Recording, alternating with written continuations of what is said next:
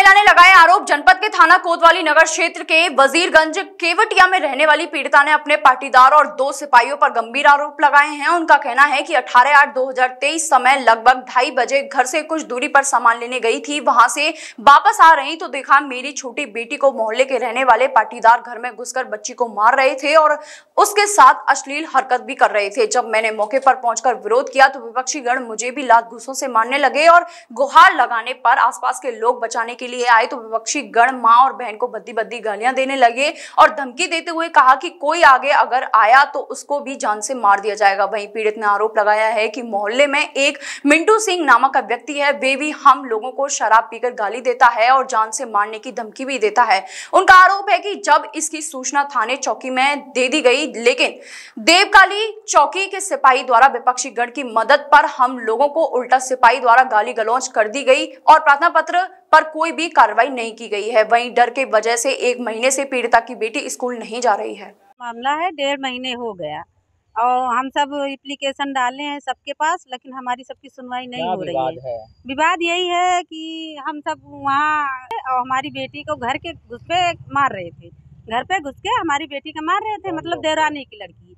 मोहल्ले की हैं खुशबू हैं और चांदनी है सोनी है गीता है रवि है रमजीत हैं सब मार रहे थे। रेनू है। मारने की क्या वजह थी क्यों मार रहे थे? मारने के लिए धमकी दिए हैं मतलब थोड़ा कोई विवाद था बच्चे से पहले से। वही ये सब ओढ़े रह रही थी कि मतलब हम मारे तब उसके मार रही थी। उसके बाद बच्चा सिद्धि। आपका बच्चा। हमारा बच्चा सिद्धि है। बच्चा है तो हम गए बचाने तो हमको सबको लात घुसे से मारी। सर हम घर पे नहीं थे। हमारे लोग थे मारने में? मारने आठ दस लोग थे। अब दिक्कत है बताइए। अब दिक्कत यही है स- हम जाते हैं कुतवाली गए देवकाली चौकी गए हमारी सबकी सुनवाई नहीं हो रही। डी आर वहाँ गए पुलिस लाइन गए सुनवाई नहीं हो रही। अब क्या करें हम सब? क्या चाहते हैं हम सब चाहते हैं कि हमारे तरफ़ से मुकदमा लिख जाए हमारा सबका न्याय हो।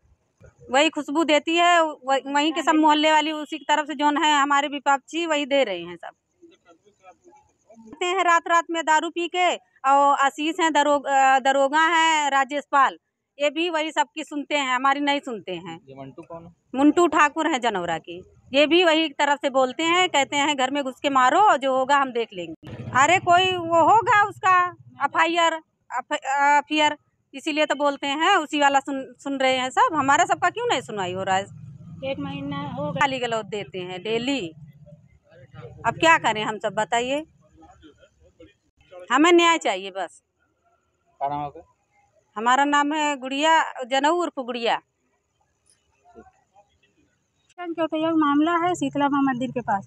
दोपहर के समय हम घर पे नहीं थे हमारे आदमी हस्बैंड गए थे काम पे। हम थे ना हमारी बिटिया को घुस के चांदनी खुशबू गुड़िया अरे गु- चांदनी खुशबू और ये सोनी और ये क्या नाम ये थे रवि और तो वो गीत नहीं रेनू। रेनू थी और वो रंजीत इन ये लोग घुस के हमारी बिटिया को मार रहे थे। जब हम सुने तो दौड़े तो हमको भी मारने लगे। हमारी देवरानी दौड़ी उनको भी मारने लगे। बिटिया की कपड़ा लत्ता फाड़ डाले है। नाबालिग थी हमारी बड़ी वाली बिटिया जाती है स्कूल उसको कहते हैं जैसे स्कूल में पढ़ो भे पढ़े ने भेजो हम उसको उठवा लेंगे। काले शीशे में लगा रहता है गाड़ी में। मिंटू मिंटू हैं आशीष है राजपाल है इनके सब मिले हैं बैठ के दारू शराब पीते हैं। और घर पे जाके गाली देते हैं मिंटू रात रात में। हमको न्याय चाहिए हमारी कोई सुनवाई नहीं हो रही है कहीं से। पुलिस क्या कर रही है आपको पुलिस वाले को देते हैं हम सब एप्लीकेशन कोई सुनवाई नहीं हो रही है सो कागज़ दे के डबोट लेते हैं ये सब सुनवाई नहीं करने दे रहे। आपके पास क्या मुकदमा हुआ है क्या मुकदमा दर्ज हमारे सबका नहीं हो रहा है कहीं से कहीं सुनो। आपके ऊपर जो मुकदमा है पार्टी हाँ उधर वाले मुकदमा है, हमारे सबके खिलाफ मुकदमा नहीं लिख जा रहा कहीं। क्या चाहती हो हमको न्याय चाहिए हम चाहते हैं हमको भी मुकदमा दर्ज हो। आने दिन गाली गुप्ता देते घर में बंद करके हम बैठे रहते हैं बाहर नहीं निकलते हैं। बिटिया कपड़ा फैलाने जाती है उसको भद्दी भद्दी गाली देते हैं। और बिटिया को स्कूल नहीं हम भेज रहे हैं क्या करें हम? बिटिया पढ़ाई लिखाई ना छोड़ दें। बिटिया कहते हैं आज भेजो अभी भेजो उसको हम उठवाएँगे काला शीशे में है। क्यों हम पढ़ाना नहीं चाहते गरीब में नहीं है तो घुस के रात दिन गाली सुने, बाहर नहीं निकले, क्या हम लोग? हमको न्याय चाहिए सर, बस। अगर न्याय नहीं मिलेगा तो हम यही मर जाएँगे, जाके चौकी थाने चाहे जोन हो जाए। हमको न्याय चाहिए, बस। हम कुछ नहीं सुनना चाहते। अगर नहीं न्याय मिला तो कतई हम मर जाएँगे। हम नहीं जीना चाहते। डेढ़ महीना से हो गया, ये विवाद हो रहा है। कौन औरत जिएगा? हमारी बीपी लो हो जाती है, बीपी बढ़ जाती है, हम क्या करें? कहाँ जाएँ? किससे हम न्याय मांगे अपना? हमको न्याय चाहिए साहब, और कुछ नहीं है। नीलम नाम है हमारा। उसके बाद फ़ोन आ रहा कि जैसे स्कूल में आप पढ़ने जाती हो, वो मैसेज लिख लिख के भेजा था, वो मैसेज डिलीट हो गया है। हम क्या करें? बिटिया न छत पे भेज रहे हैं, न बाहर निकल पा रहे हैं हम घर में हर वक्त बंद रहते हैं घर के सामने निकलती हैं, गाली देती हैं, कह कहती दरवाज़ा खोलो, घर में घुस के तुमको मारेंगे, हम क्या करें हम? हमको न्याय दे दे सर। नहीं, हम मर जाएँगे, चाहे जोन हो जाएगा, अगर न्याय नहीं मिलेगा तो हम कतई हमारी लाश जाएगी यही वजीरगंज के उटैया से। हमको हमको न्याय मिलना चाहिए। देवकाली चौकी वाले कोई सुनवाई नहीं कर रहे हैं। सर अप्लीकेशन देते हैं, सारा कागज़, राज्यपाल हैं, आशीष हैं, इनके सब कागज़ दबोट लिए हैं, पैसा खाए हैं इनके सब। हमारी सुनवाई हमको न्याय चाहिए, सर। अगर नहीं न्याय मिलेगा तो हम दो तीन दिन में हम चौकी थाने पर जाके मर ना जाएँ तो क्या कह रहे थे हम? हम कतई मर जाएँगे, हम नहीं बर्दाश्त कर सकते हैं।